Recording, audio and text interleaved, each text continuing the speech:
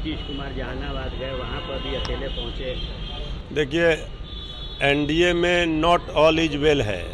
आदरणीय मुख्यमंत्री श्री नीतीश कुमार जी भारी दबाव में हैं। विद्रोह की स्थिति है जेडीयू में।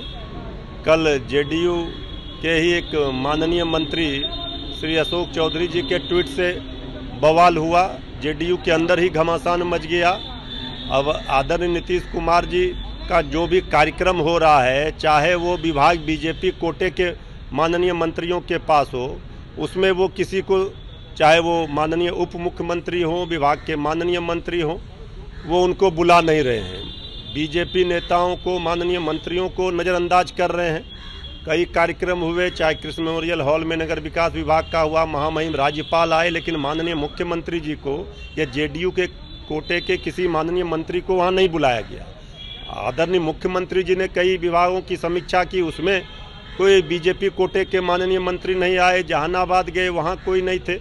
तो ये दिख रहा है कि एनडीए के अंदर खटपट शुरू हो चुका है।